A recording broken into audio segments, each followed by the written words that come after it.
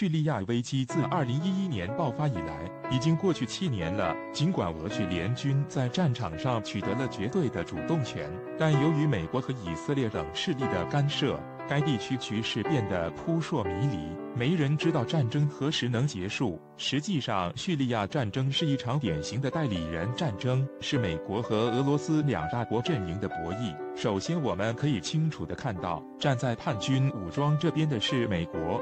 以色列以及一群欧洲盟友们，而支持叙利亚政府军的则是俄罗斯、伊朗、黎巴嫩真主党等势力。伊拉克、土耳其等国虽然是美国的盟友，但在叙利亚问题的态度上一直摇摆不定，令人难以捉摸。由此可见，叙利亚战争并不是一场简单的内战，其背后是各个势力之间的较量，各方都会想尽办法争取自己的利益。那么，谁才是这场战争的幕后操纵者呢？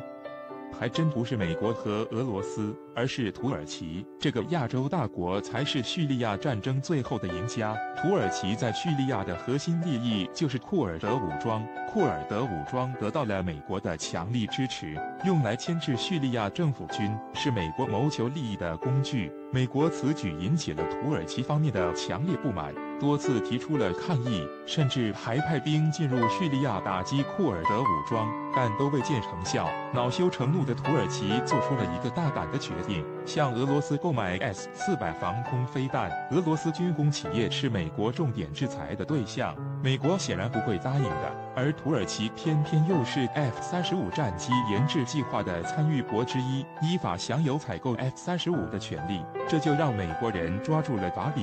只要你买 S 四百，我就不卖你 F 三十五了。土耳其并没有被美国人的威胁吓到，他凭借独特的地理优势，在美俄军购竞争中左右逢源。无论土耳其倒向其中的哪一个国家，都是另外一方无法接受的。美俄两国似乎都成了土耳其的棋子。都拿他没辙。就在九月十七日，土耳其背着美国人与俄罗斯达成了一项停火协议。该协议要求在伊德利卜省境内建立非军事区，全长约二十公里。叙利亚政府军和叛军武装将被隔离开来。叛军一旦接受停火协议，就必须向放弃追随美国，从此效忠于土耳其。这些叛军将去哪里呢？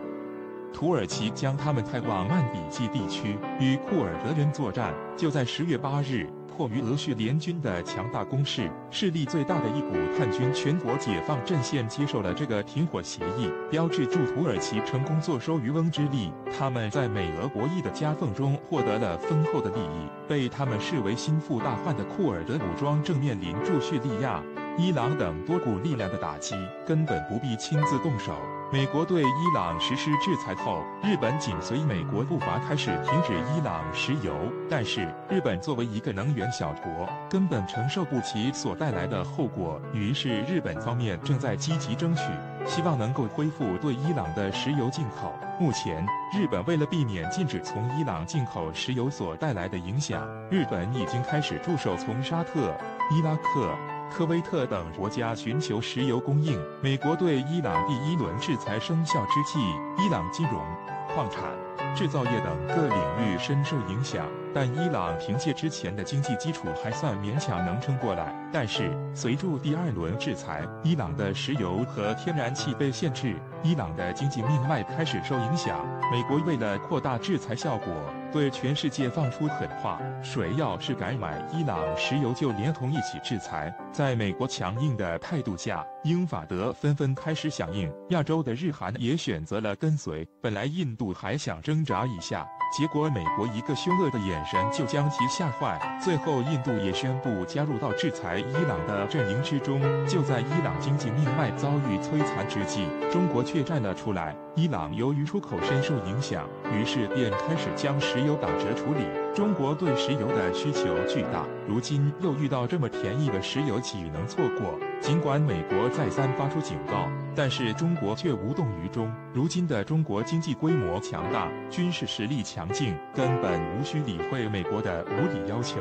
就这样，美国的一张禁令变成了废纸，而那些跟随美国的国家则分外眼红，只能眼睁睁看住中国坐收渔翁之利。伊朗为了感谢中国的支持，石油价格还在下调。后来，伊朗外长访华，也得到了期望中的答案。中国将会一如既往与伊朗保持密切合作，在国际法允许范围内给予伊朗力所能及帮助。同时，中国还将继续加大对伊朗石油的进口工作，这无疑是给伊朗吃了一颗定心丸。不仅有中国的承诺，俄罗斯也在全方位对伊朗实施救援。只要中俄在，美国的制裁都将大打折扣。美国政府十日宣布关闭巴勒斯坦解放组织。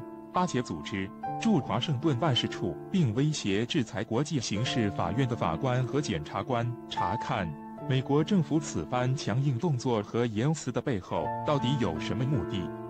在九点一一事件纪念日前夕大动干戈，又有何实际的考量？特朗普资料图。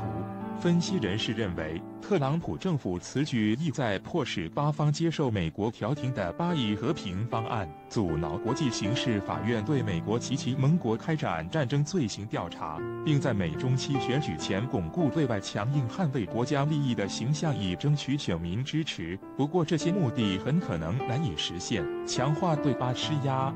近来，美国与巴勒斯坦矛盾日益明显。据报道，美国政府目前正在酝酿一项所谓世纪协议设想，以推动巴以双方实现最终和平。但这一协议尚未出台，就已遭到巴方明确反对。为此，美国已多次对巴施压。就在八月三十一日。美国刚刚宣布不再向联合国近东巴勒斯坦难民救济和工程处提供资金。美国智库布鲁金斯学会高级研究员达雷尔维斯特指出，美国在巴以矛盾中拉偏架的迹象非常明显。巴方不再是美国为中东和平谈判的中立调停方，认为对话将完全偏向以色列，故而拒绝和以方谈判。美国此次关闭巴解组织驻华盛顿办事处。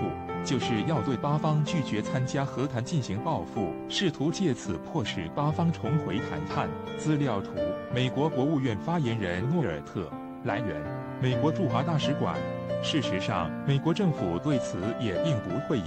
美国国务院发言人诺尔特十日在宣布关闭巴解组织驻华盛顿办事处的声明中称。巴解组织不仅没有采取措施推动巴以开始直接而有意义的谈判，其领导层还一直谴责美国尚未出台的巴以和平计划，并拒绝与美国政府就相关事宜进行接触。此外，巴方还试图推动国际刑事法院对以色列进行调查，美国政府因此做出上述决定，阻挠国际调查。就在同一天，国际刑事法院也受到了来自美国的威胁。